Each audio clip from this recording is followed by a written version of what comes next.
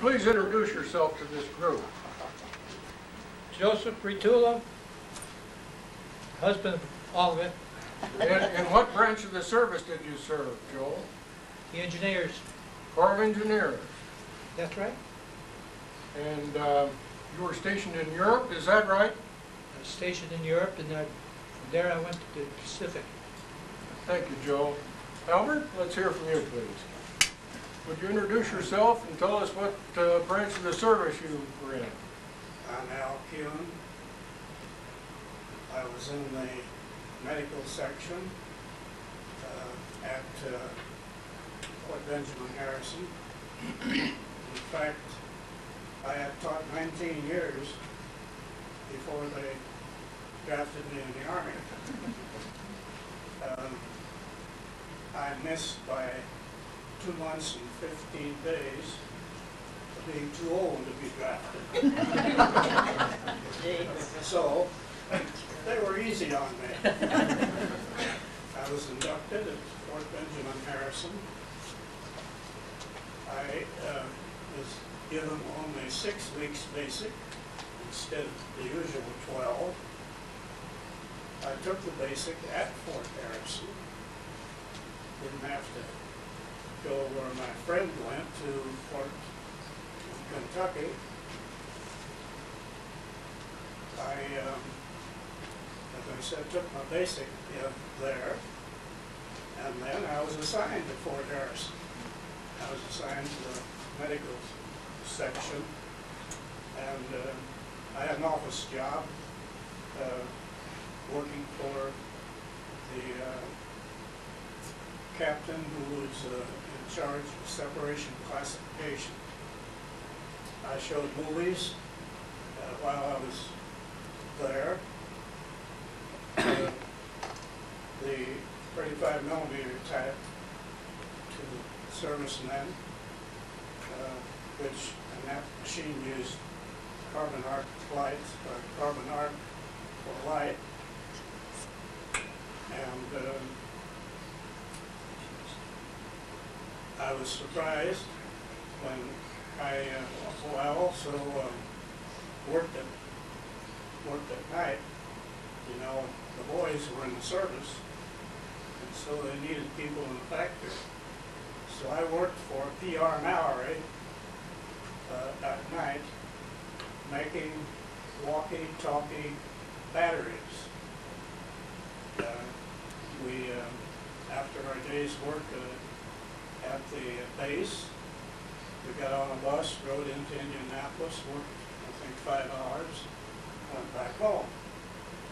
The unusual thing happened was that one evening, as I was riding in uh, to work, I was in the GI bus, and some fellow back of me was uh, reading the paper. And the paper kept uh, hitting me in the back of the neck. So I turned around and looked at the back side of the paper. Lo and behold, I see South Marion School burns down. So I found it out the same day that it happened. That was in the evening paper of uh, Indianapolis uh, News. Uh, I only lost uh, one school term. I was inducted uh, May the 5th, and uh, the war ended August uh, about the 15th of the next year, so I missed one school term of teaching. Came back and taught at North Marion. Uh, Well, in fact, uh, I was dismissed from Camp Camp Atterbury. I arrived home at 8 o'clock Sunday night. 8 o'clock Sunday morning, I was at school at North Marion. Thank you, Albert. A lot of us can't choose our time to be born, can we, all? Bob Wells, you didn't hold up your hand. Now, let's hear from you. Well, I didn't see you. Come on, get up on your feet, please. My name's Bob Wells. I spent three years, one month and one day in the service. I was a signal corps in the Ninth Air Force attached troop car command. Then the glider troopers went in, I was the guy that, when the outfit that carried you in and helped you out of work in I think, uh, I know for sure that Joe Prietula came mighty close not to being here. Was that an artillery shell or a bomb you ducked, Joe, or what was that? Was, They call them 88s. that was a, that was a German 88 artillery shell, and Joe dove headfirst into a cellar because he could hear the shell coming, and the man standing next to him didn't make it. In uh, early 1942, I read in Reader's Digest about an Army rookie, hadn't been in his first camp more than a couple of days, and he was hounding the first sergeant, the company commander, for a seven-day pass. His wife was going to have a baby. Well, rookies are usually restricted to base for the first 30 days, and then, with reasonable behavior, they get an eight-hour pass. But this kid persisted, my wife's going to have a baby, I've got to have a seven-day pass. So the company commander considered it and gave him the seven-day pass. And the fellow beat it back to his barracks, grabbed some socks and underwear, and as he going out the barracks door, one of his pals stopped him and said, when, when is your wife having the baby? He said, nine months after I get home. Reader's Digest. Dr. Kenny mentioned this uh, presentation at the Historical Society next Tuesday night. Bailout over the Balkans. You didn't expect to have any homework connection with this course, but I'm going to lay it on you. You owe it to yourselves to either buy this book, and the cost is about the cost of printing, or get it from the library, or go down to the Historical Society Tuesday night and hear every word of that story. I promise you, there's a hundred times more to that story than was presented here last Thursday night. That's your homework assignment.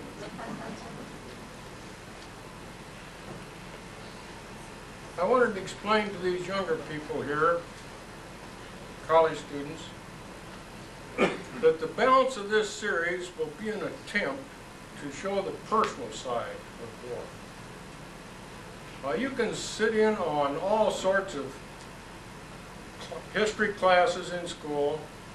You can see all sorts of authoritative documentaries on television and so forth. But there's a personal side that we are trying to present. You must not construe that any of us who are participating in this program are heroines or heroes.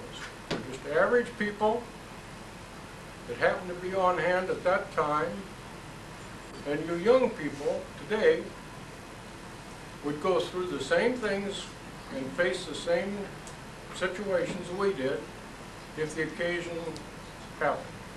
So place yourselves in that time period.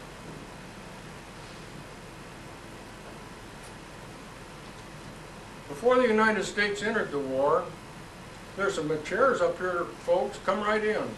Come in and get seated, that's all right. Introduce You Norm won't, Muller, yeah. you won't disturb a thing. Yeah, why don't you introduce Norm, since he's gonna be a speaker for us? Well, come on in, will you, Norm? We're taking off for Nova Scotia tomorrow morning, you're gonna be away. I wanted to see how you were presenting the program. Well, uh, I'd like to introduce uh, you to everybody, Norman. This is Norman Muller. He's been a Rensselaer taxpayer for what, eight years? And uh, he is also a World War II veteran. Um, We'll be hearing from him later. He served in the infantry under General Mark Clark in the uh, Indian, uh, Italian campaign, not the Indian War, the Italian campaign. Glad to see you here tonight, Norman. Good to be here.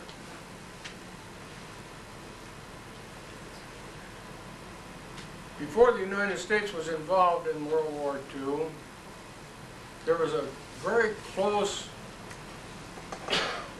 connection between Winston Churchill and Franklin D. Roosevelt. And naturally, all Americans were vitally concerned with what was going on in the European theater. The Russians were taking a terrible pasting. I think they lost something like 10 million people in the Battle of Stalingrad. Uh, The United States was sending a great deal of aid to Britain. Bundles for Britain was one thing. And so there was a lot of close communication between Churchill and Roosevelt. And those two men foresaw a, an- a military advantage if the United States would concentrate on the war in Europe first. This was after Pearl Harbor, they reached this decision. Then, all the Allied forces sweep into the Pacific. And they thought they could make short order out of the Japanese if it was handled that way. So in our series, we're going to cover the campaigns in Africa and Europe first, Italy, France, Belgium, Holland, right on across Germany. And then we will move to the Pacific. So these first few series will be primarily targeting that theater of operation. Our participants tonight are two women from the military service. And let me point out to you that there were no draft boards pressuring these women. They volunteered, every one of them volunteered to take an active part in the defense or service of the United States. There wasn't one of them that volunteered, had any idea at all how long she would be expected to serve. Because when, at that time, when they talked about serving for the duration plus six months, were we looking at eight years? Were we looking at three? Were we looking at 12? What in the world is this going to, what are we getting into? Is this going to be a lifetime career, for goodness sake? And with that in mind, I have the greatest respect for these ladies who volunteered. And they were shipped to places all over the world, and they endured hardships right along with men. They had to eat army food for one thing. And I, I can't praise them enough. Tonight, I would first like to introduce Doris Shriner, who was a member of the Women's Auxiliary Corps. Doris, uh, will you take over, sir?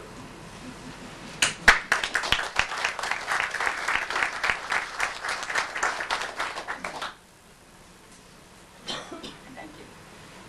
First of all, I want to clarify, I am Doris Shriner, but in the Army, I was Doris Swunke, so the Shriner came later. And also, I want to make it clear that never would I compare myself to a combat military man. There is no comparison. In 1942, women in the service in any measurable number was not heard of. There were reports of women in the Revolutionary War manning the guns and women who aided the soldiers in the Civil War, and even of women who had posed as men in order to serve in the military. In 1942, Congress authorized the organization of the Women's Army Auxiliary Corps, which a year later became the Women's Army Corps. We were told if you wish to participate in this organization, report to your nearest designated recruiting office, which mine was Gary. I remember going up there and, and as there were two GIs there, and when I told them what I wanted, they looked at each other, and one of them said, uh, well, we had some of those forms, but I don't know what we did with them. You come back in a couple hours, and we'll see if we can find them. Apparently, they thought this kid will go home, think about it, and never show up again. but this kid did. I went to Indianapolis for my enlistment in July and reported to Des Moines, Iowa for basic training in October. We were often asked why we would volunteer when we were not obligated to serve. And there were many reasons, and each girl had her own. But the reasons were similar, and among them, as corny as it may have sounded then, and as corny as it may sound to you tonight, patriotism had much to do with it. The GIs used to say, somebody must have hit you over the head with a flag, and in a sense, I guess they did. Jerry Hoover quoted from what the men sang, so I will quote from some of the women. There was a song, part of which said, We're here to do our part. Without a cannon, without a gun, we're fighting with our hearts. And basically, that's what the women did. In 1943, uh, we, as were most of the WAAC, were sent to Camp Polk, Louisiana for revaluation and reassignment. They tested us for everything they could think of, physical, mental, emotional, aptitude, attitude, security, what have you. And the rumor was that they were choosing a group for an overseas company. Well, the Army always stated that. They always said, we're choosing the cream of the crop, even if they were making you queen of the latrine. And I remember though, my first day, when I was moved to another part of the camp and to a barracks away from the girls I had been with. And I sat on my cot and I eyeballed those girls and I thought cream of the crop baloney. They didn't select me. They called me out, but the rest of these rejects. First of all, it was this clumsy girl, big feet, had this petite hat on, and she reminded me of how you see these horses with their ears sticking out of a hat. And I thought, that's got to be retarded. then there was this southern gal. And I thought, I figured if I ever saw one, she's probably prejudiced against everybody and mostly Northerners. And then there was this Beebe, this Eastern debutante. And I thought, huh, she just joined the army because she thought it was the glamorous social thing to do, probably don't intend to break a fingernail. Well, that was my lesson. And don't jump to conclusions. And don't judge people by first appearances. That retarded one, Virginia, happened to have a degree in engineering. She could not only tell you how to build a bridge, she could tell you where the weak points were to blow it up. And that bigot, that prejudiced person, Mary Dale, to this day only has one fault. Mary Dale ain't got no sins. I keep telling her, Mary Dale, you'll never get to hell that way. The devil won't let you in. But she still don't have any sins. And that debutante, that wasn't going to get a fingernail broken, was like a sister to me. When I worked long hours, uh, Carol would, when she pressed her shirts, she pressed mine. When she pressed her skirts, she pressed mine. And in the mornings, she would take my mess kit with hers to the mess hall and bring me back my breakfast so I could sleep later. She was my sister. How wrong I had been in my judgment of those girls who became a part of my Army family and my lifelong friends. From Camp Polk, we were sent to Fort Devens, Massachusetts for further training among which was a lot of first aid, survival, and self-defense. We were taught judo, which I still remember incidentally. One of the things they wanted to be sure we knew how to do was to swim. Well, I came from DeMotte, Indiana, where swimming pools were few if existing at all. And the Kankakee River was too dangerous to learn to swim in. And the Hodge Ditch where the boys swam, they also skinny dipped. I didn't have much chance to learn to swim. Well, we sent home for a swimsuit since the Army don't furnish swimsuits. And mine came before my friend Michaelina. Well, Michaelina sat on the shore and she was my moral support, or so I thought. She, oh, Swanky, you're doing good. Now you're doing it. Now you're getting it. That's good. Michaelina's suit came. Michaelina put it on. Michaelina marched to the lake and Mar- Michaelina hid behind a tree. And she never got her feet wet. Said, I'm getting in that dirty water. So I may still drown her for that.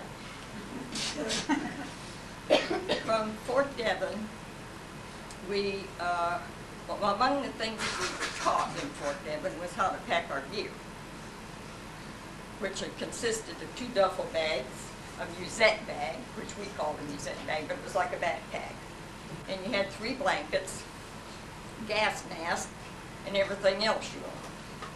Well, you learn to pack those two duffel bags very carefully.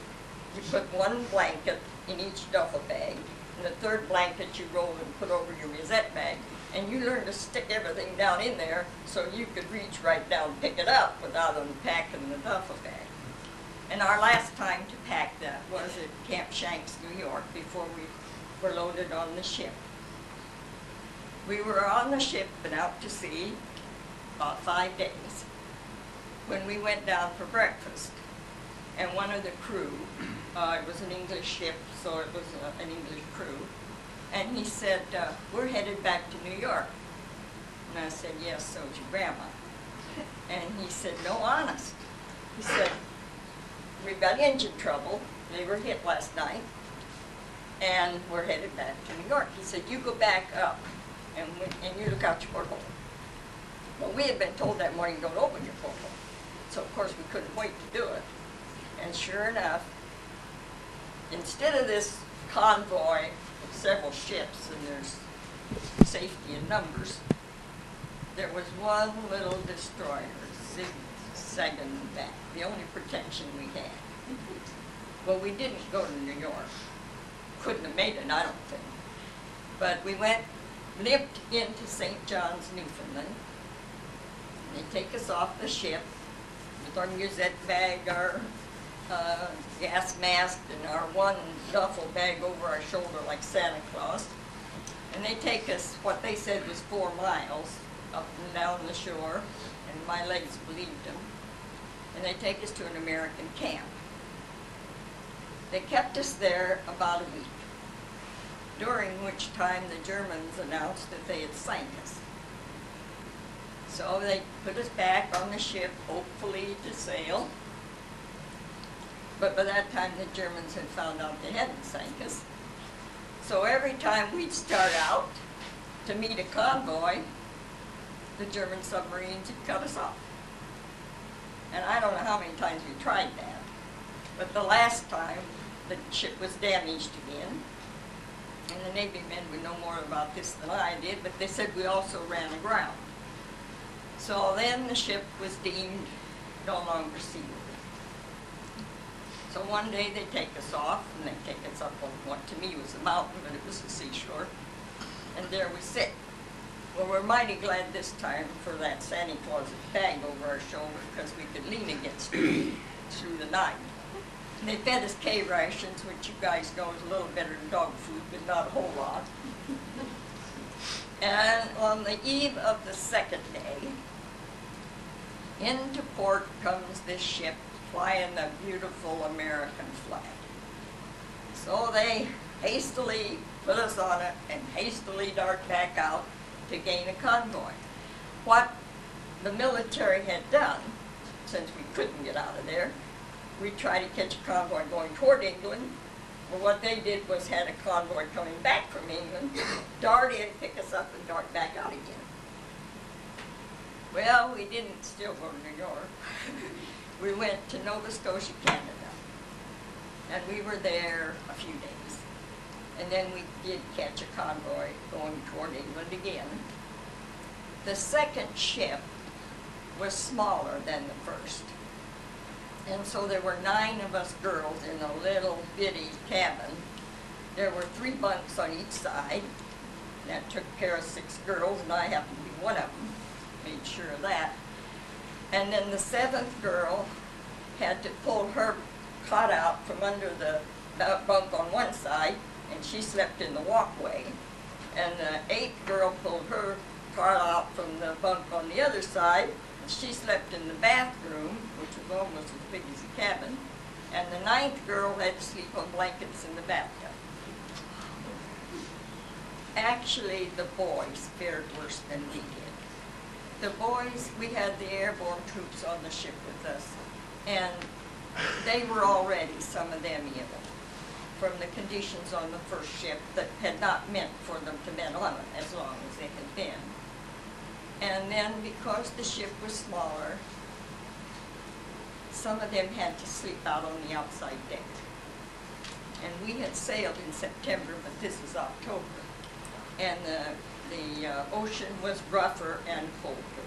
And when I saw the size of those waves, which washed up on the deck where the boys were, I didn't care that much that I wasn't a good swimmer, because nobody was gonna swim in those waves.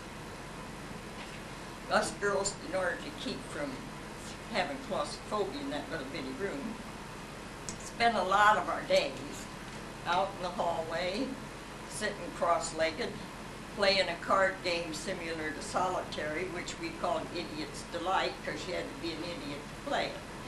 But it kept us uh, en- entertained. Well, we made it after fifty-some days of trying, and two trips across the ocean, actually, we made it safely to Liverpool, England. They took us from truck, by truck from Liverpool to London.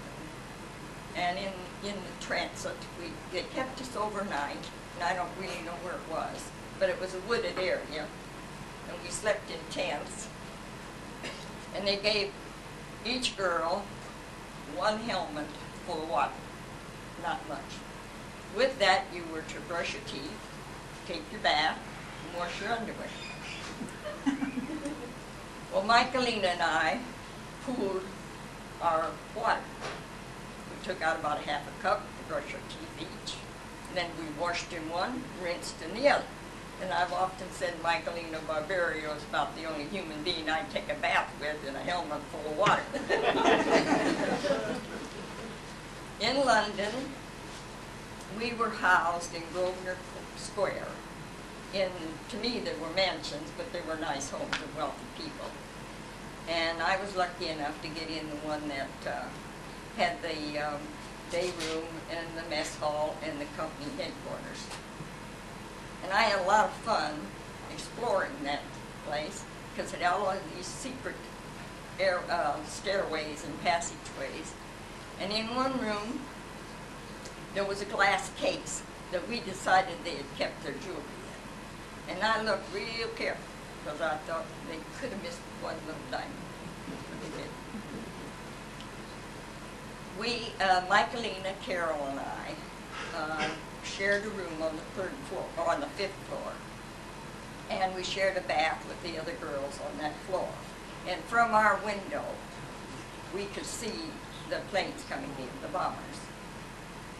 And whenever the Hyde Park guns went off, we knew it was time to go to the air raid shelter, which was in the basement. And we spent a good many nights rolled up in our blanket on the floor of that basement.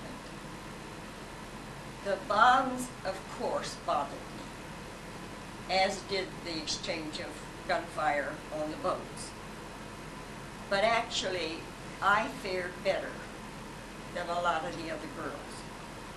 My being from the country was a help to me because I was accustomed to lightning and thunder, and there was a similarity with the bombing raids. And just as I always knew that lightning could hit me, I didn't figure it would. And the same way with the bombs. I knew they could hit me, but I didn't figure they would. The thing I think that disturbed me most in the bombings in London was when we would be going to work in the mornings after a raid and passing people digging out their loved ones, especially holding a dead child. I think that has been the hardest memory for me. In London, after I take a drink. I'm glad you saw me put that up there for you, Doris. Otherwise, I'd have I was keeping an eye on it. I'd have knocked it over. In London, we were assigned to uh, the European Theater of Operation, USA, which was the American headquarters in Europe. And I was assigned to a colonel, a major, and a captain.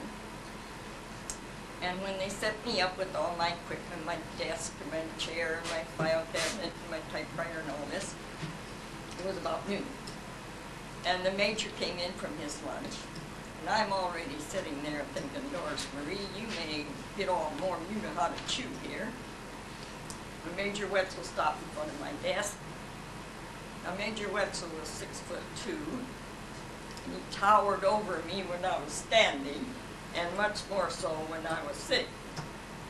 He said, you're our clerk. Now, in the Army, if you did anything in an office, you were a clerk. So I said, yes, sir. He said, how is your typing? And I said, poor. And he said, how's your shorthand? I said, worse. And he burst out laughing, and he said, good, I'm a field man, not an office man. And he was. He was a field man, not an office man. He couldn't spell worth a darn, and he didn't know a comma from a semicolon. But he and I got along fine because I, as a corporal, which I was at that time, could ask questions that a major was supposed to know. And he was from Illinois and I from Indiana, so we had that in common. And the colonel, Colonel Hayes, had been retired. And they had called him back to the service because of his knowledge and his experience. And I marveled at his brilliance. He was a sharpie, and I adored him. Now, I will miss the captain. I didn't like him. when General Eisenhower uh, moved from Africa to England, several of us were transferred then to the Supreme Headquarters, Allied Expeditionary Force, SHAEF for short. And we were moved then to Bushy Park. And at Bushy Park,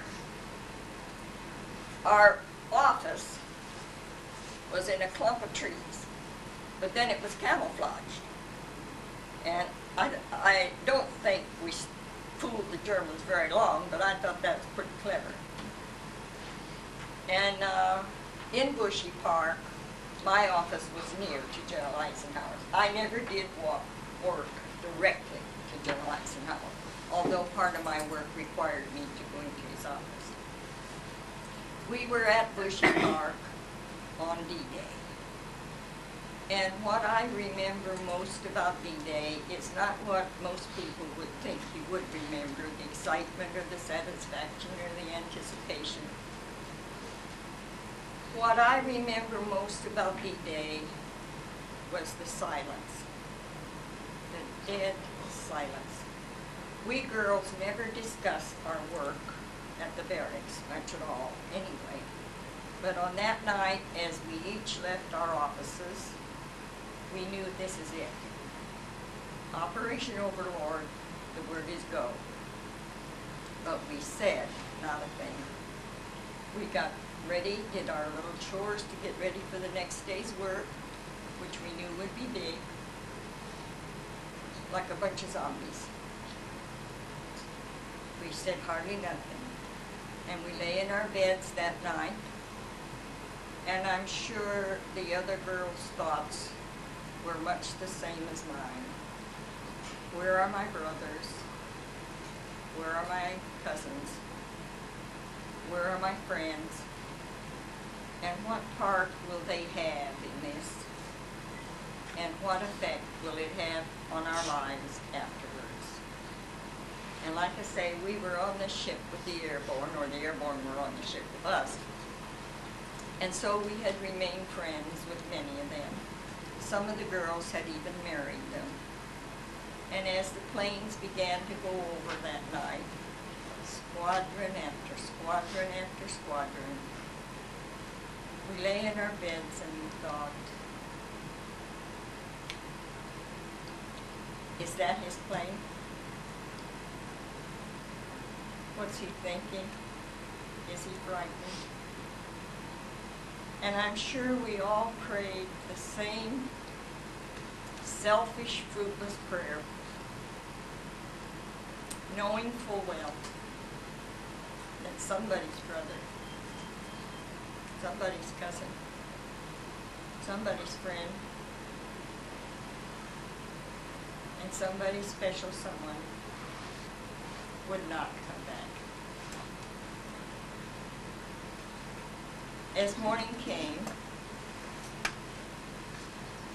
one of the girls had a radio, and so she tuned it to the British station. And the report came that the invasion of Europe had taken place, that the Allied troops had landed in France. We all hurried off to our offices as we knew we were expected to do. And in my office, which was the message center of the intelligence division, the messages were coming in so fast and out so fast, we really hardly had time to think. But as the reports of casualties came in, and the airborne and the amphibious troops, the casualties were just enormous. I kept thinking, not mine. Not mine.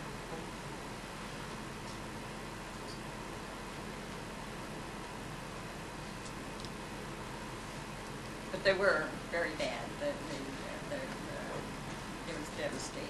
The, the, the losses. That is the irony of a war. It takes the strong and the brave. It takes the cream of the crop. As soon as, well, I don't know whether it was the first night or the second after D-Day, but soon after, the V-bombs began coming over.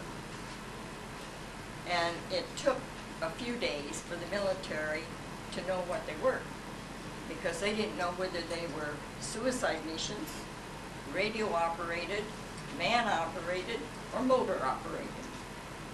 So it took them a few days to figure it out. And they were, they flew low. You could almost see them in the daytime. They were a nuisance. But that the, at what we call the ack-ack, the aircraft couldn't, couldn't, was frugal to them, they were so low. So what the system they used on them was that they sent fighter planes out to blow them up before they got across the channel, or into, into England. Well, I don't know how many they blew up, but I know they missed a lot of them. And the first night that they came over, we girls were required to sleep in the raid shelter that was just outside our, our quarters. After that, it was optional. And I and my friends opted for the comfort of our barracks and our cots. And if they came close, which very often they did, they'd scatter things or they'd break windows out. They, the, the V-bomb had a little motor on it. And when that motor cut, it might drift quite a ways or it might go directly down. And you never really knew which it was going to do. So if it came near, we'd either roll under our cot or we'd roll over on our belly and pull the covers up over our head to protect us from any debris and whatever. Well, this one night, one of those boogers cut right above us. And I rolled over on my belly and pulled the covers up over my head. And my friend Michaelina threw herself right on top of me. Her body would have taken the shock and the debris. Luckily, it drifted on, and Michaeline got up and got on her own cot. And to this day, she nor I either one said anything about that. She'd be embarrassed if I did. But I have considered that since she would have given her life for me if she had needed to, I really should forgive her for taking such pleasure in watching me drown before death. At the office, uh, I shared, the, as I say, my, uh, my office was near General Eisenhower's. And so we used the same air raid shelter. And I remember the first day at the office that we were required to go to the air raid shelter. Well, some lesser officer insisted that we, according to military protocol, wait until General Eisenhower got into the air raid shelter. Well, General Eisenhower was mad. And you could always tell when General Eisenhower oh, was mad because his ears would turn red on top of his bald head. And he chewed that officer out good. He said, these kids only have one neck too. They go in that door as they come to it. So from then on, we did.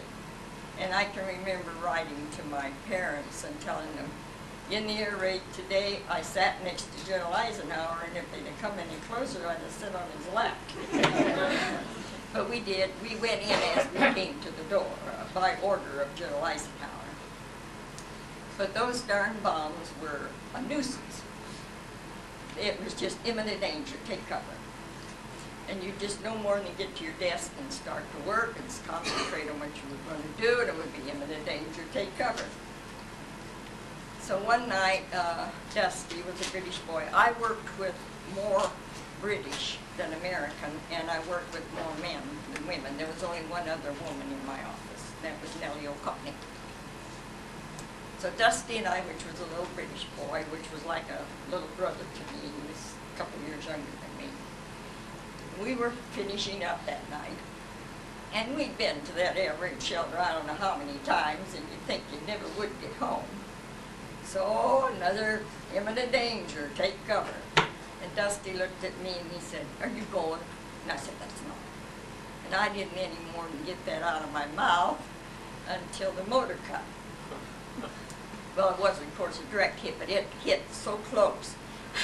The way the office was there at Bushy Park, the hallway was of cement or brick or something, but all the little offices that were tributary out were like little Quonset huts or prefabs or what. I always said they were pasted together. So this thing lit close enough that the concussion raised the roof and the sides and the ends fell out. And the roof come back down. So here's Dusty and I under the table. We crawl out and we rescue the documents, which is always have to be. And luckily the safe wasn't damaged, so we crawled around and got the documents into the safe and anything else to do go home. The next morning when we came to work, the engineers or the maintenance or whoever was responsible had jacked up the roof, and stuck the sides and the end back in, pasted them up. After we cleaned up the debris, while we were ready to go to work, except that in the roof above where my desk was, was a big hole. And on the chair where I would have been sitting was this piece of jagged metal, piece of the bomb. So if the roof hadn't smashed me, which I still had that piece of bomb, if the roof hadn't smashed me, that jagged metal would have played havoc with my head. That's about as close as we came to, to getting hurt. After France was liberated, we were moved to Versailles, France. And at Versailles, our offices were in the Grand and Petit Trianons. And I was lucky enough to get an office that was heated. Not all of them were. And the office wasn't too bad. But our barracks left a little to be desired. It was like an old fort, and it had been condemned for human use. It had, its last use had been as a horse stable. And it had some lighting, but no heat and no plumbing. Well, what we did for heat, each room, got a little pot-bellied stove, and you stuck the stovepipe out the window. And then about once a day, you got a little bucket of fuel, whatever they could find, a few little pieces of coal or pieces of wood, and you'd scavenge what you could from the office, and I never could because it burned all mine. And uh, we'd pick up sticks on the street, but the French people usually beat us to them. And we often said, when we got a package from home, that cardboard box was about as welcome as the contents because you'd be burning. But Mary Dell was in charge of, of the stove. So she would, when she made the fire, she'd take my canteen and put it on top of the stove because I worked later hours than most of them. And before she went to bed and before the stove went out, she put my canteen in my bed. Well, for, for plumbing, the Army had built a latrine and a mess hall out in the courtyard of this fort. And as I think back on it, they were mighty close together too. But you had to go outside to take your shower. And this was a double whammy for Nellie and I because we worked late and by the time we'd get home, most of the hot water was gone. So we'd go out, take, go out in the cold, take a cold shower, go back in the cold. And whatever heat was from that canteen was sure welcome, even though it wasn't very much. Our greatest concern in France was at, at the time of the Battle of the Bulge, which was for most of the troops over there. I'm sure you know how the, the foot troops were, were in trouble. Um, even though we knew what the ultimate outcome would probably be, there were tense moments. And at one point, uh, there were planes on standby to fly us girls back to England if the Germans' advancement had not been stopped. Luckily, it was. And at the same time as they planned that surge, they made to correspond with that timing the dropping of espionage and sabotage, sabotage agents outside of Versailles. Their mission was to find their way into Versailles, to find as much information as possible about the Allies, to cause as much chaos as they could, and if possible, to muster enough strength from sympathetic French, and there were sympathetic French, and from the French Moroccos who were being held in Versailles to overpower our headquarters. The reason that their mission was not as successful as they would have liked it to have been was not for want of trying. The work, a part of the work that I did in G2, Intelligence Division, would normally have been done by a commissioned officer. I was not commissioned, one reason being I didn't want to be. I wasn't in the Army for a career, and so my rank didn't make any difference. And I would have had to have lived away from the girls that I counted as my dearest friends.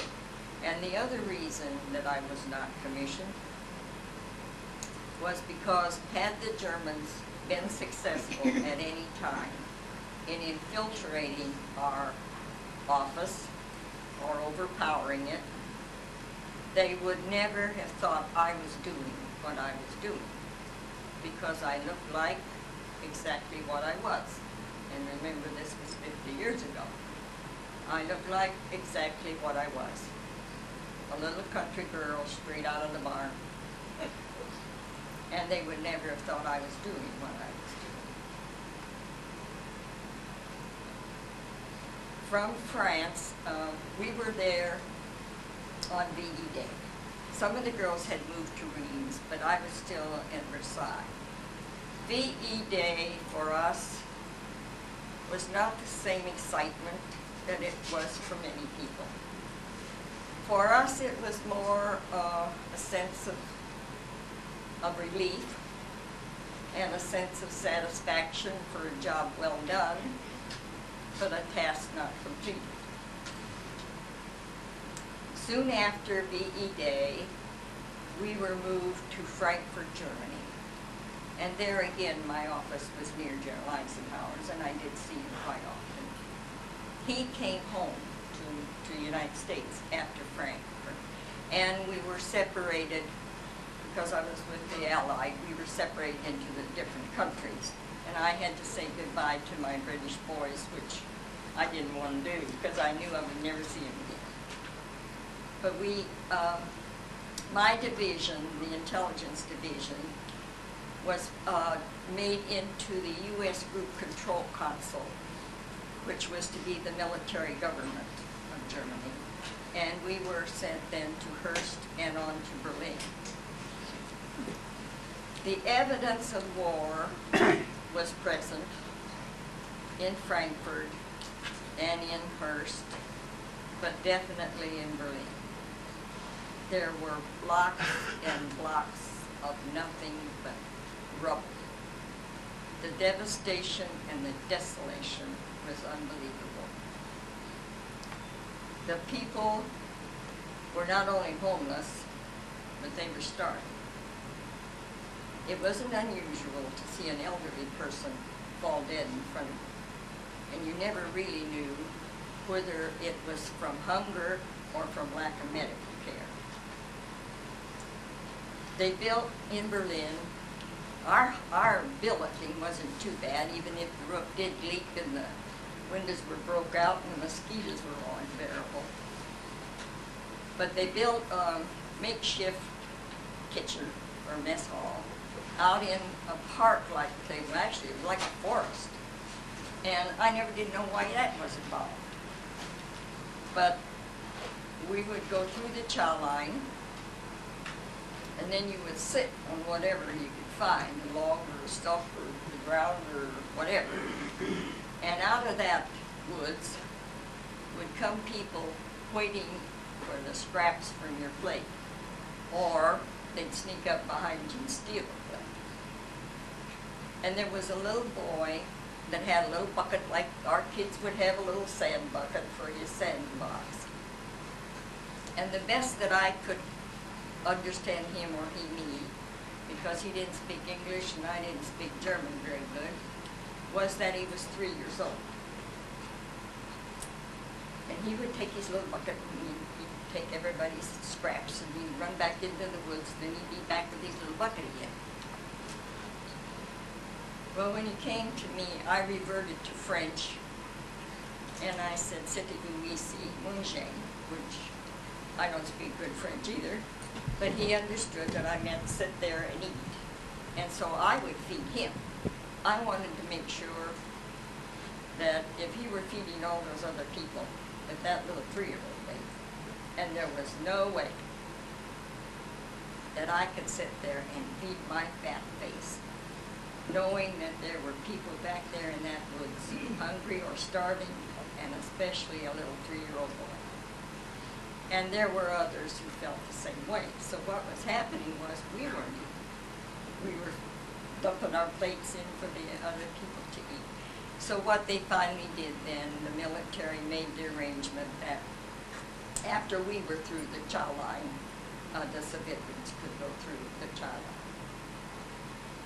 Soon after uh, we were there was VJ Day. And again, VJ Day, of course, the Germans could care less. But VJ Day even wasn't the same that I'm sure it was to the people back home. To us, it was a relief, but it was almost a shock.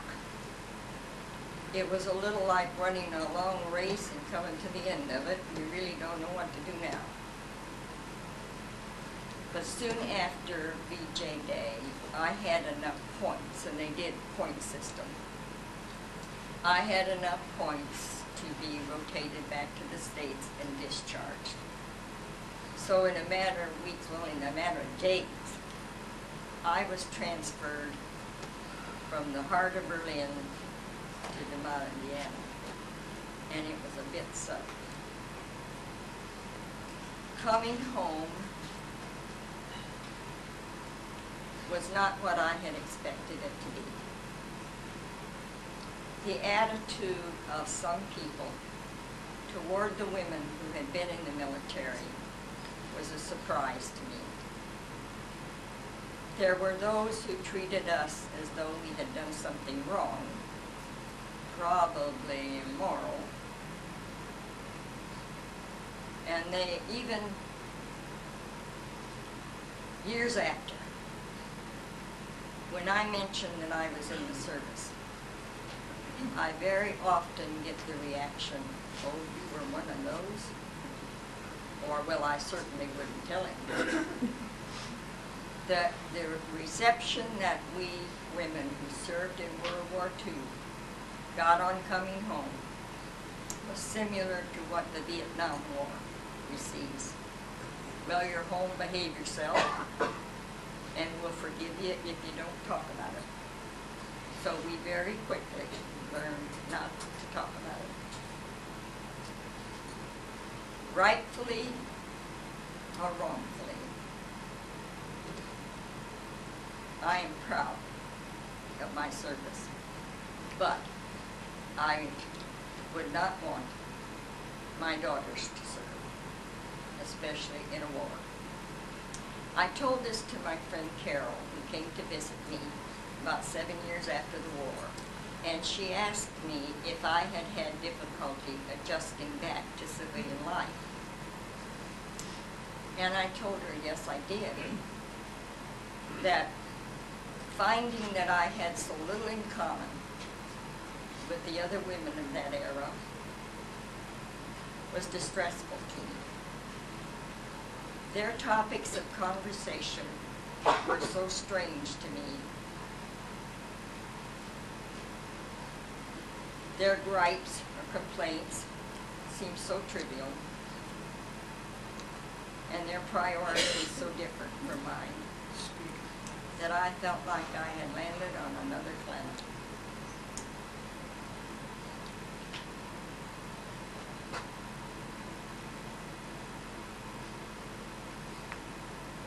It was not easy, and I did not want, as I told Carol, I would not want my daughters to serve in the military because of that awful feeling of always being an oddball, never quite fitting, always being different.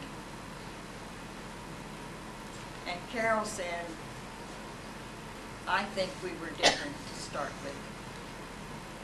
And I think that Carol was right.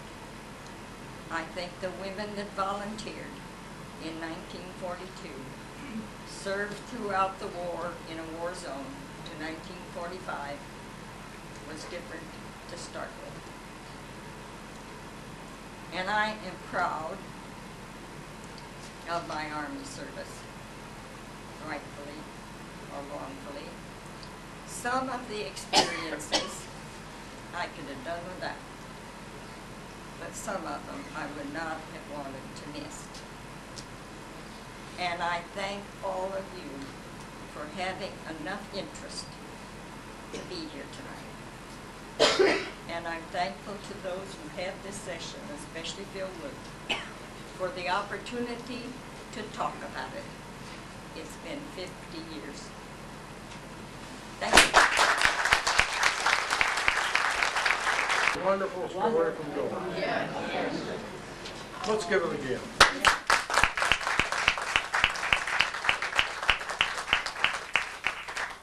I think we'll all individually be indebted to her forever. Our uh, second participant tonight is Olga Prietula, U.S. Army nurse, and one heck of a great gal. Come up here, will you please, all of us? Okay.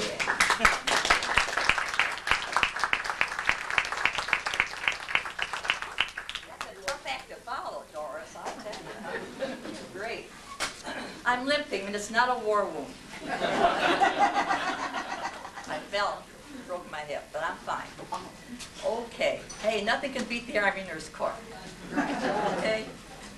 Uh, I'm gonna give you some data first, and I'm a little nervous. I hate to talk to people like this. Scared to death of you.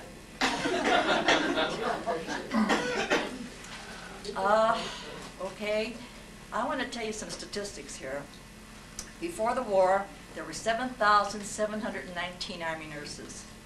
At the war's end, there were 44,802. That's a lot of statistics. There were 201 nurses who died during the war. 16 were killed in enemy action. 66 Army and 11 Navy nurses endured three years of Japanese torture after the fall of the Philippines. Something that isn't usually discussed. In the early days of the war, the- that's in the 42, there were no uniforms issued. Girls were issued men's uniforms, men's sizes. There were none for the nurses. And of course, it was better when I got in. I got in in May of 1944. I was a student nurse when Pearl Harbor broke out. Excuse me. And of course, I made up my mind then that this is what it's going to be. I am nervous. God, I practiced and practiced anyway. I can talk like a fool when I'm alone. Okay, let's get going here. I know we've got to be through by nine o'clock, right? I went to Camp McCoy for my induction. We were issued gear. We had some basic training, not a lot, because we were trained in our profession. But the biggest thing we found out that we had no conception of combat wounds and shock treatment. So this was a big thing for us to learn, and we didn't learn it until we got overseas and got busy. Alrighty, we were assigned to units at Camp McCoy, and I was so thrilled to be assigned to the European theater. I'm scared to death of snakes, and I was worried sick I'd go to the Pacific. So I was thrilled I was in Europe. Was in Europe, and I was assigned to the 101st General Hospital, which is another good deal. The gals that served in the evac hospitals and some of the station hospitals had a rough deal. We in the general hospitals usually took care of convalescent patients. We, uh, I'll go into it later, but anyhow, I'll tell you right now, we got on a ship in June of 44 on the SS West Point, went across the ocean. We zigzagged at the time. We had no convoys at that time. The ship was fast enough so that I understand a submarine could not sight it in that length of time. They zigzagged every three minutes or six minutes. I forget which it was. But anyway, that was the story. We, as nurses, were down at the bottom deck. There were no doors in case we were torpedoed. So when we slept, we slept stacked. I think there were 30 of us in the room. No doors. We uh, had to be exposed to the GIs who were fed 24 hours a day. This was a troop ship. And they would be out in the hall. And when they saw there were nurses in this room, heaven forbid, they took their mess kits and they rattled and rattled and rattled. We had no sleep, 24 hours, no sleep. But anyhow, we enjoyed it. we got a big kick out of it. Okay, we, um, we uh, went overseas. We ended uh, up in Scotland and boarded trains and came down to a small town of Taunton, which is a town that is smaller than Rensselaer. Now you've got to visualize England. England is an awful small country. And with the vast number of troops that were settled there, you can imagine we used anything and everything for hospitals. They didn't have enough hospitals for us. So we used buildings, we had tents in open areas, anything and everything. We were lucky enough to get some English barracks. Lucky. They were brown barns scattered in several different directions. We looked at these things and thinking, we've got to make a hospital out of this unit. Or leave it to American ingenuity. They did. We scrubbed, we cleaned, we stocked, we put cots up, and they built ramps, covered ramps between each one of these buildings, and we called them spiders. So we could facilitate taking patients to x-ray to surgery without exposing them to the weather, because we didn't have corridors. We had all these separate buildings. So this was one thing that, excuse me, that we did. The operating room was a Quonset hut, and so was the x-ray. And food was transported from a, from a station kitchen with hot carts down these ramps to the kitchens in every spider. And that's how we fed the patients. Well, the transportation of hospital patients, you'll probably want to know, how did we get our patients? Here we are stuck in the middle of nowhere in a small town of Taunton. We got our patients on C-47s. These are planes that usually went to the continent loaded with bags of luggage, supplies to the soldiers, and came back with patients. And as a result, we had quite a few patients. They were picked up with ambulances and then transferred to our area, brought to this Quonset hut where the doctor stood and evaluated each patient as he came in. And they would tell us whether or not this patient needed immediate care or he would be able to be convalescing for a while before he could be taken care of. Now, mind you, this is the wonderful thing. Our boys were in our hospitals, they choked up, within seven hours of being hurt. They were flown over within that time. So you can imagine how tickled they were to get in. Excuse me, I knew this was going to happen. so, let me tell you about Taunton. Us nurses were stationed in a manor house. Well, this manor house was a lovely old English building up on a hill. It used to take us about 20 minutes to walk down to the spiders. And of course, the poor second lieutenants were up in the attic, where the, evidently where the servants used to live. The captain and the first lieutenants lived on the second floor. It's a beautiful home, beautiful curving staircase, beautiful ballroom, gorgeous. We had one fireplace in our room, one fireplace. And this old English man with his hobnail boots would come up and bring you a one cold scuttle. that should last you all day. Cold, we were so cold we couldn't stand it. Downstairs, the lieutenants and the captains had central heating. so one night, we decided we wanted another scuttle of coal. So there was this back entryway that used to go down to the kitchen. So my roommate and I decided we're going to go steal some coal. So down we went with the empty coal scuttle, down to the coal pile outside. It was snowing. We filled the darn thing up, and we got too greedy. We filled it up too full. So we're going up the stairs, bong, bong, bong, bong, coal was falling down. We thought, my God, the whole thing is, we're going to be found, we're going to be court-martialed. But we didn't. We heated up our little room, and we, we managed to survive. And getting back to Doris's story, the V2s were hitting about that time, and I have an English newspaper here. The V2s gave no warning. All of a sudden, a neighborhood would be hit, a school. And here's a Woolworth store where it's an old English newspaper, and you can come up and see it later. Uh, There were no air, line- air, air sirens, no air alerts. These things just came over out of a clear blue sky. They sounded like an old uh, washing machine, they say. They had the most distinctive sound there ever was. That's what they used to If you say. ever heard one, you could hear know it. one more thirty years later and you'd know Yeah. what it was. Now, that thing is from, let's see, that, that paper is from uh, April 27, 1945, and we are already in Berlin. You're welcome to see it when you want to come up. Okay, dokey let's go on here. I have to take notes because I'm not as organized as Doris is. Uh, Okay, like I said, the patients were admitted within seven hours of being hurt in the field. They were brought in, and we really got our feet wet. We got 1,300 patients at one slew. There were 80 nurses in our outfit. Each nurse had two corpsmen working with her.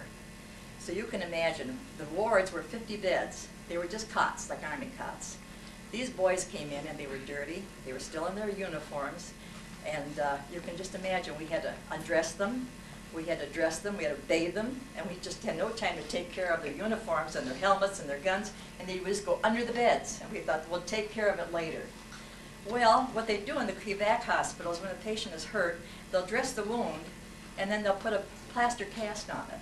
And that immobilized the, the limb until they came to us. So all these plaster casts had to be removed. So the fellows, the GIs, were going crazy with these big, you've seen these big plaster cutters, cutting these things away. And along would come the doctors with another corpsman and dress all these people. Well, that took us three days, and nobody slept. It was something to see. Well, the boys, you know, oh, I knew I'd do this, darn it. You know, you're gonna erase some of this stuff, aren't you? Please? Okay. You, well, you probably are curious to see what kind of wounds these boys had. Mostly gunshot wounds. Most of them were shrapnel. You know what shrapnel is?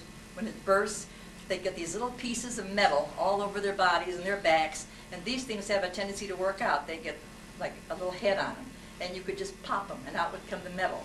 And this would take several weeks, you know, to do. Uh, Then, of course, uh, I'll have to tell you about an accident that, that uh, happened on my ward. on, not on my ward, but on another ward. Uh, name was Wally, and they kept talking about Wally. And Wally had hit a mine with a Jeep, and both of his legs were involved. And the nurses on the other ward were telling me they were just so upset about him and so worried about him. And one day, I picked, walked over to that ward and to pick the one the nurses up to go eat, because we had to walk a mile to eat. It was at night, we're on night duty, we had twelve-hour shifts. I walked in there, and here I hear, I know you. I walked down there, and Wally was a kid across the street. Chicago.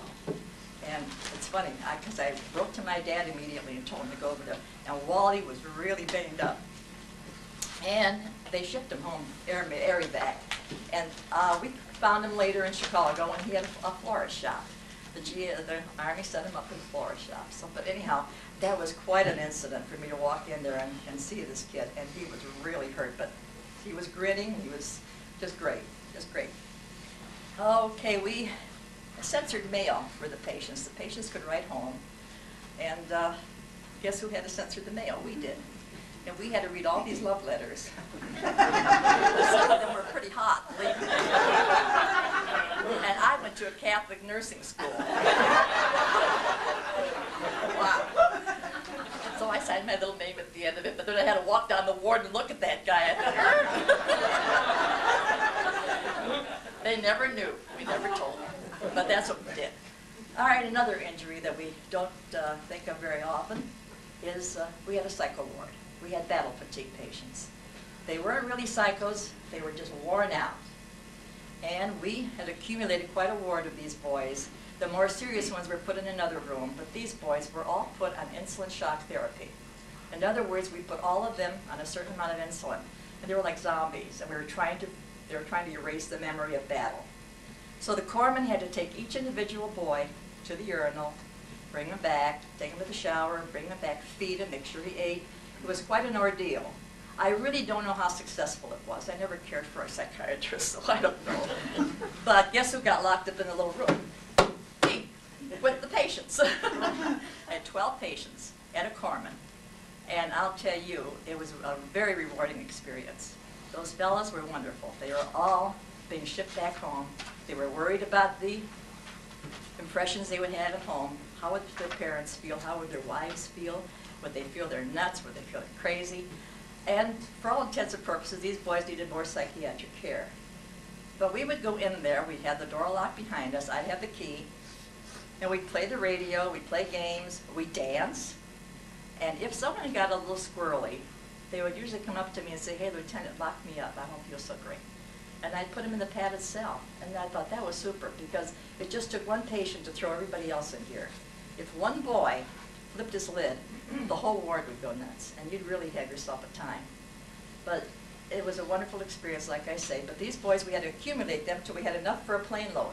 So it took a while. We kept them for quite some time, and it was really, really quite an experience. And I wondered how their parents felt when they got home and how their wives felt. Most of them were, were worried about the wives.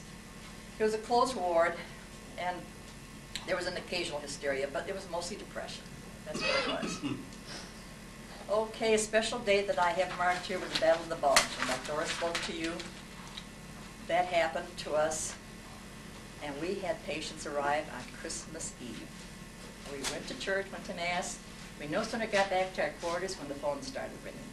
And the, we could see the ambulances taking off for the airstrip, and they brought in a full load of patients. And what a wonderful day to be there. They got they they got fed. They had wonderful meals. They had turkey and dressing and everything you could think of. Uh, so grateful to be there, and we were grateful they were there. It was a wonderful Christmas. Wonderful Christmas. Uh, so then we made VE Day came in May. I'm trying to hurry this up a little bit. Uh, and we were still in England. We got secret orders, and we thought, secret orders, where are we going? Are we going to be split up? We had been with these kids for a while, with these corpsmen. We had become quite close. Well, we didn't know where we were going. So uh, they put us on a train, and we went into uh, Paris. Got into Paris, and they cordoned us off. We couldn't move out of the station. The war was over. There were no trains. There was maybe one train operating every three, four hours. We'd have to wait till there was a train going in the direction that we were going. And all of a sudden, this train pulls up, and they're unloading people in white and black striped pajamas. And we thought, what is that? We couldn't imagine, skinny, dirty, and Red Cross workers were working around them unloading the litters, and we couldn't imagine, so we asked one of them. They broke through to one of the camps, and they were unloading the Jewish prisoners in Paris. And if everyone said it didn't happen, I saw it, it happened. It was terrible. So I feel very strongly that these people that oppose the Holocaust, I don't know how they could, how they could do that, because we've seen it. We saw those patients, but it was at least a hundred of them being unloaded. We had to wait in order to get on the train. Uh, They were liberated from a concentration camp, I can't believe, I, I don't know the name of it, I don't have it here, if I knew it, I have forgotten it. After loading on the train, the men were in boxcars, the women, as girls were in these compartments, you see them on the movies, where there's a sliding glass door, you know, there's a long hall. Well, we were in fatigues. There was one girl on one side of the, of the, the room, the other girl on the other, a girl in the middle on the floor, and a girl out in the hall. And that's how we drove to Germany. Bathing, we waited till the train stopped, and we ran up to the steam locomotive, and we filled our helmets with the hot water from the steam. It took us three days to get to Germany. Bathroom facilities, boys on the left, girls on the right. And it worked. Uh, I'm trying to see here, after loading on the train uh, and and going through Germany, we couldn't help but see the devastation, like Doris said, and the people in throngs were waiting at the stations trying to cop a train with all their belongings on their back. Their, their homes were all bombed, there was devastation everywhere. There wasn't a street in Berlin that hadn't been touched, not a street, but at this time, we didn't know we were going into Berlin. We were the first general hospital in Berlin. We were the first ones to set up a hospital in Berlin. So we were really proud to do that. But we, uh, at first, our headquarters are, I'm trying to see here, uh, we set up in a schoolhouse. They pulled all the desks out of the schools, and remember the sliding uh, blackboards? And anybody remember a schoolhouse like that? We had them in the city. You'd, you'd pull up the blackboards, and that's where all your coats were hung. Well, that's the type of, uh, schoolhouse this was. And we were admitting patients, we were admitting children that had been playing with incendiary bombs, and they were being hurt. They had nowhere to go. Their, their hospitals were all devastated. They had no place to go. We were bathing patients and using water out of the janitorial sinks, all those big sinks that they have. This is what we had, dumping bedpans in these little toilets that the kids used.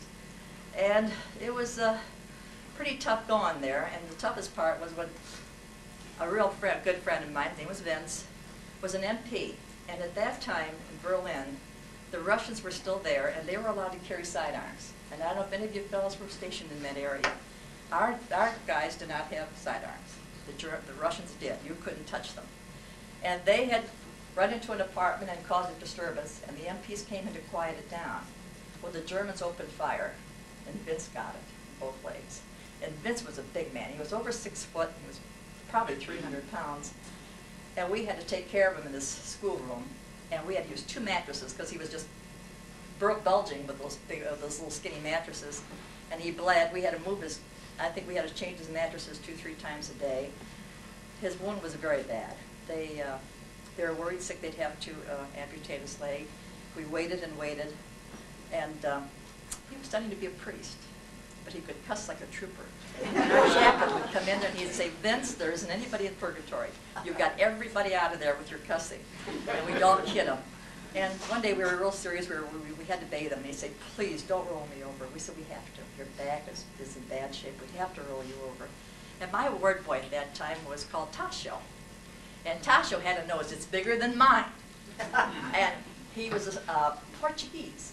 He came from, uh, oh, I'm trying to think of the town he came from, I can't remember anymore. But anyhow, he was a ward boy, just a simple guy, real cute guy. And he was helping me bathe Vince. And Vince says, look at me, Olga. He said, who want to marry me? He said, look at me, I won't have a leg, who want to marry me? And old Tasha spoke up. And he said, hell, my father hasn't got a leg, and he's got six kids. The best thing he could have said, I thought, gosh, Tasha, you know, out of the stupid comes wisdom, you know, oh, what a wonderful thing to say, and, and Vince couldn't help but break into a smile. And we took care of Vince until we shipped him to Paris, and he wrote back to us and he said, hey, there's nothing like the 101, you see, wish you were back. Anyway, we got uh, him taken care of, and I, I haven't heard from him as a civilian, but I would sure like to. Uh, we were quartered in people's homes, which was kind of sad.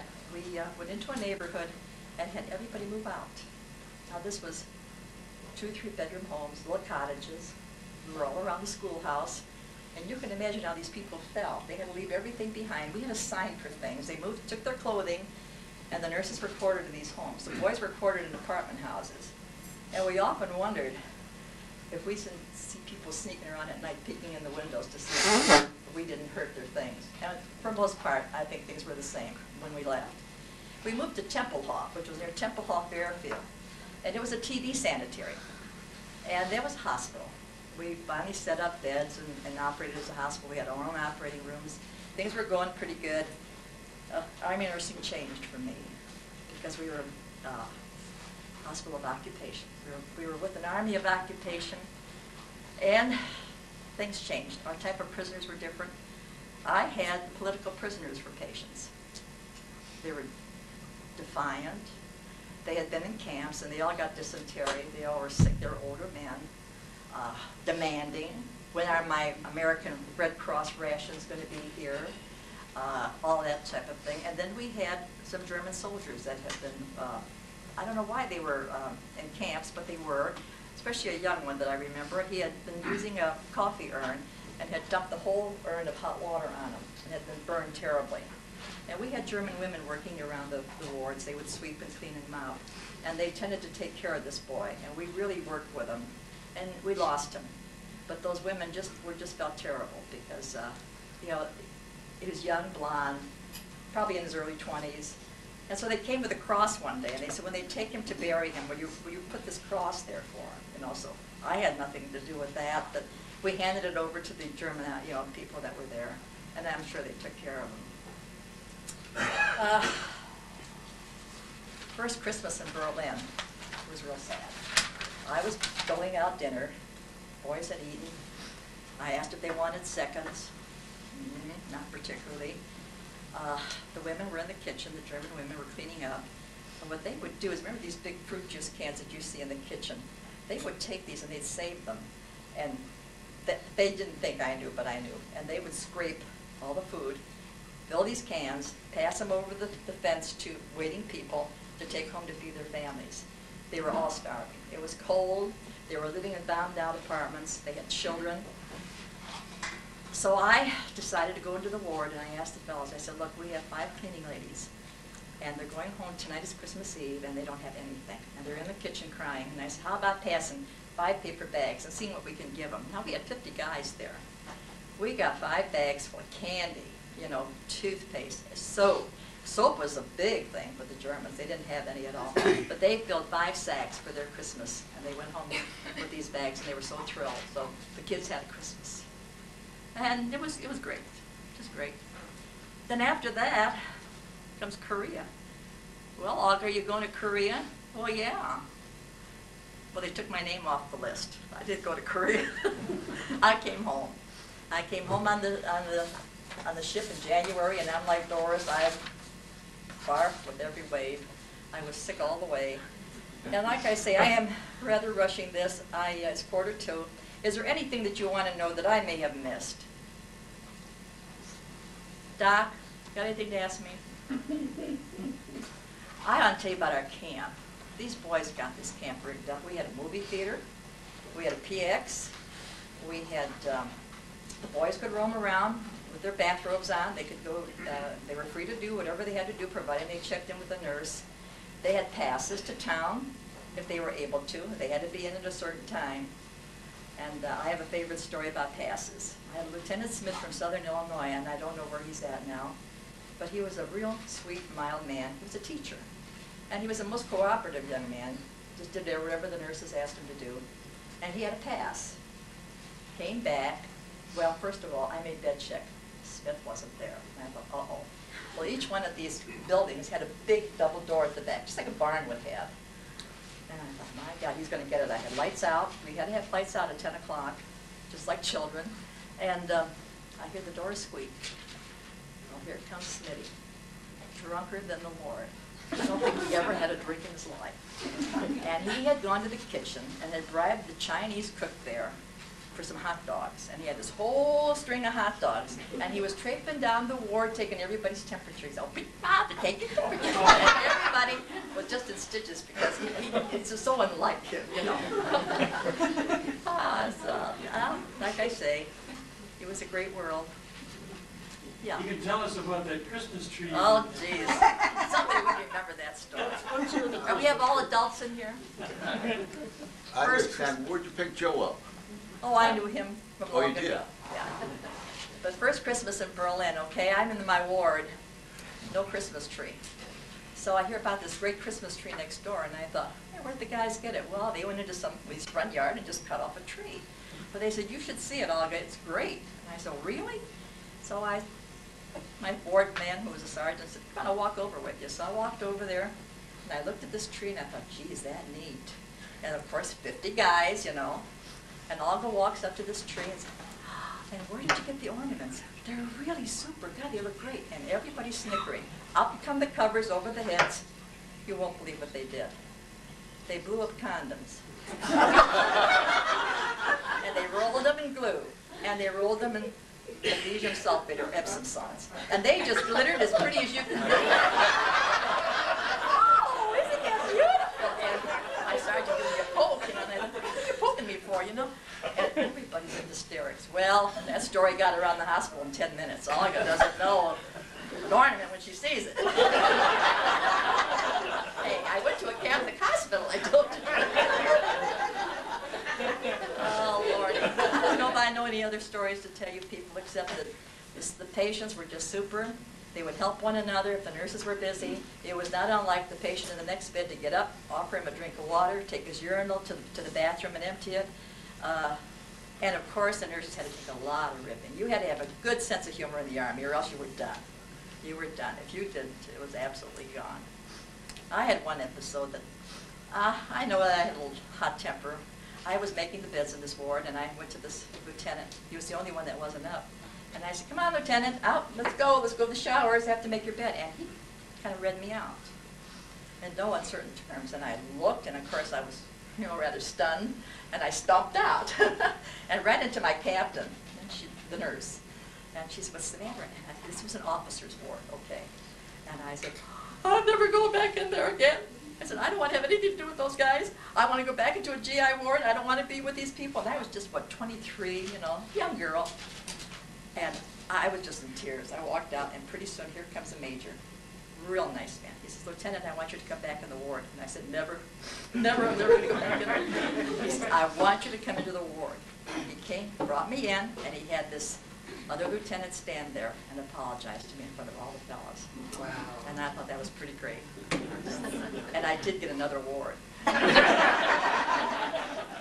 The psycho award. They thought I was fit for that. And I had a lot of fun with those guys. In fact, they used to want to lock me up. We had good times. Yep, the American GI was a wonderful patient, just a wonderful patient. And the American hospitals treated them great. They had great food, they were clean, they were dry, they were, they were treated very well. I think we were real proud of them. And like I say, this is, this cannot compare to what the girls had in the evac hospitals who were up there right behind the lines. That was tough duty, really tough duty. They were dirty, they were wet, they were not fed as well as we were, and it was really hard. But like I say, I was lucky I lucked out. I was stationed at a station hospital for a while, the 250th, I can remember the name, and we lived in tents, we worked in tents. And that's quite a, quite a deal. You've seen MASH. And this was like it was. We had to go out, take a shower, walk back to the nurses' quarters. The fellows would all be, patients would all have, be sitting outside the tents making all kinds of cracks, you know. You just had to go on your merry way. We had our pajamas and we used our coat liners for, for bathrobes. The Army was very clever with clothes. And uh, so we were traipsing with our head up, with our heads wrapped up in towels, and they thought that was really neat. But uh, nursing in a tent was really something. You can imagine, you know, bathing a patient, changing the bed. It was really difficult to do. And yet, this is how England had to do. England just did not have enough room for all the Americans that were there and all the Americans that were coming back. So, anything you want to ask? How about all that laundry? We had a laundry. We had our own laundry. uh-huh. We had our own laundry, our own kitchen. They baked their own bread. It was real interesting. Yep, and those, those carts would come down. And the kitchen was so far away that those of us that worked nights didn't feel like going up there at midnight to eat. So we eat the bread. We all gained a lot of weight because we'd eat the bread and English marmalade and peanut butter. That was our, that was our, if we didn't feel like going down to the mess hall to eat, that's what we ate. But uh, it was, uh, in Germany, again in Berlin, I have to hop around. My memory is not as good as Doris's. Uh, the Russians were there, okay, and I'm Ukrainian, and I can speak a little Russian, a little Ukrainian, I can understand. And the, uh, the Russians would come and they'd want to entertain our troops with their little concertinas, you know, we wouldn't let them in the ward, we used to argue with them. But they used to want penicillin. They all had problems with that. Uh, and we did too. The Army of Occupation, like I said, our patients changed. I had the POWs, but my girlfriend had the VD ward. And the saddest thing is, is when you saw men of your outfit come in with VD. Uh, Army occupation is tough duty, and these boys have been away from home a long time. And my nurse friend that had this ward had the darndest, uh, what do I want to say, a, not a mural, but a poster. And it was Donald Duck. And he's real mad. You know how mad he gets? And his little hat was flying in the air, and he was real red. And he said, I tell you, Doc, I got it off the toilet seat. I thank you.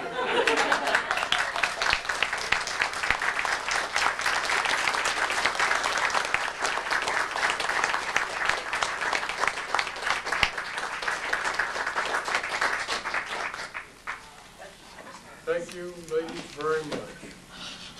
I believe that uh, we'll write to the Pentagon and uh, suggest, recommend highly that each of you receive the Congressional Medal of Honor.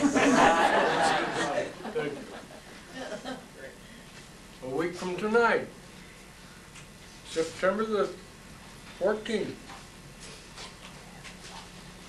our two speakers will be Charles Stabb and Gerald Pettit. Gerald's been here for both the um, meetings so far, and these men were both stationed in Europe and saw too much action, and we hope that their stories will have a very special meaning for each of you. Dr. Kenny, is there anything else this evening? Just, uh, if you would turn in your notes, those of that will, uh, Jeff will take them at the door, I'll get, take them. Yeah, I think, Phil, good speakers tell stories, and we heard two marvelous speakers, but I- I'm still, I won't go to sleep tonight, I'll be thinking about all. I really,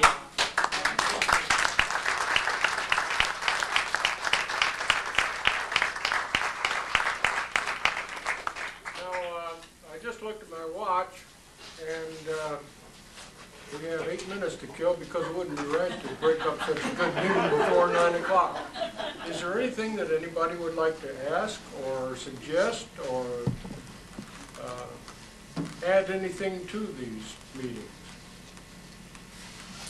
We would like, yes, Ms. Ayler? I have a question for Olga. Yes, ma'am. Doris talked about her return and how people talk to her as a woman returning from war. What about you in your position of a nurse? Well, it might sound a little pretentious, but no, I don't think the nurses have that problem. But I do think the WACs did, I really do. Uh, Because we just went right into work, you know, there was lots of work waiting for us in, in civilian life, and no, I don't think we, we we had that problem. Uh, I didn't, you know, and I don't think anyone else that I know did. I, I feel like Doris, though, I felt like, what are these people talking about? Why are they so, you know, nonsensical? I don't think, I don't think they felt the impact that we felt. I don't think they saw the suffering that we saw, and we thought how foolish they were, you know, how empty-headed they were. Uh, I think I had that impression. Naive. Yeah, and very naive, very naive. And I think a lot of the fellows felt that way too when they came home, you know, and they'd seen a lot of, and like I said, you know, and I, when we used to send the boys, they used to come in and, and they were recuperated, a lot of them went back to duty. They didn't all go home. And I used to say, nobody needs two Purple Hearts. nobody needs to go back to duty and get another purple heart. I used to hate to see them go, because you knew that in most chances, a lot of them would come back with another wound. A lot of them went back to duty, and that was surprising to me, you know. See, we were, as a general hospital, we kept them long enough to recuperate, and back they went if they could.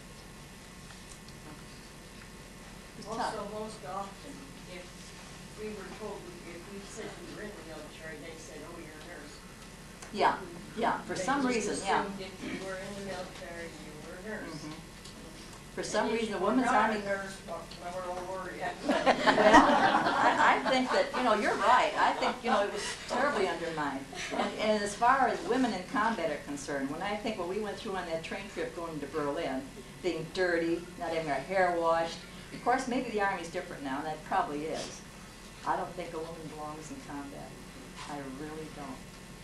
Physically, she just isn't compatible for combat. Because I can't go into details, but if you think how uncomfortable we were sometimes when we couldn't get a bath, it was tough. And I would think that that could happen to women in combat. It would be really hard, we're physically just not able to do it. You went to California afterwards. Yes. The feeling was different out there, wasn't it? Well, the feeling was different with the nurses. I think it was just a registration. See, when California was very uppity. They, the reciprocity wasn't there. Florida and California did not accept Illinois nurses. They didn't think we had enough training. So it was tough. But I worked for Shriners for crippled children, so I had a pretty decent job then. But on the whole, that was, those were two tough states to get into. But we did not, after she said, if they, she said they were in the army, they did say, you were a nurse. And that's, that is strange, you know, the women, the Army Corps did not get enough recognition in that field, they didn't, they really didn't. And you did a wonderful job, I was so much more nervous than you were. I'm too emotional, you know. I'm too emotional, I get to thinking about things, you know, and I think, geez, you know, I see these guys and see these things, and, and I do, I get too emotional. Well, it was, it's, uh, yeah, to be a good nurse, you gotta be emotional, right? You got to, you gotta feel for them. And, uh, that, that's, that's part of it. Bob and I gotta go home and look up the reciprocasis or whatever that word you said. Reciprocity? Yeah, I don't know. It's, uh, another state saying you can come and work here, we accept Oh, your credits. Okay. In other words, where you went to school, your credits are okay, but, uh, ooh, it wasn't a dirty word. There's a question here. No, it's a personal comment. I've had the privilege of being a nurse's aide under Olga and then a nurse under Olga, with Olga. She was an excellent nurse in civilian life, just as she was in her army life. And I'm sure her army life is what made her the civilian nurse that she has been. Oh, listen to that. I'm proud of you. Uh, thank- thank you. Olga ran a tight ship. Yeah, I ran a tight ship. She still does. Uh,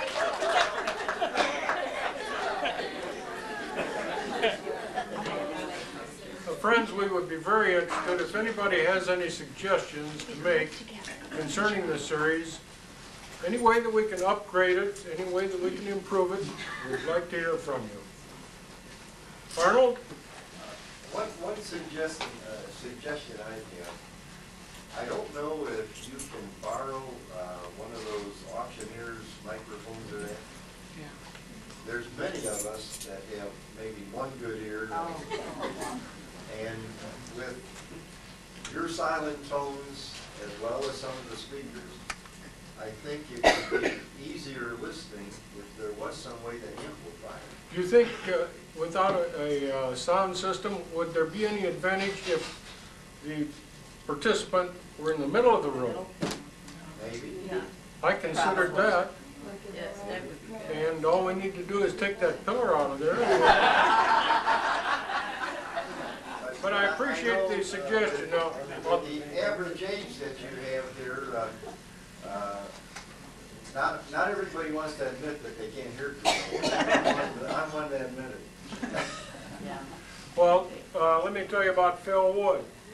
Last Thursday night, I got up here and I thought I was yelling. I did. I thought I was yelling because I was always taught to just look over people's heads and talk to the guy way out there at the far end of the hall.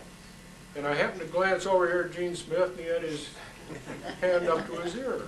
I wasn't speaking loud enough, so the acoustics aren't great in here. But uh, maybe we could kind of wrap these chairs around, or just face them to the center, and the speaker locate here in the center somewhere. Guys should be more nervous than ever. I'll turn that over to Dr. Ken.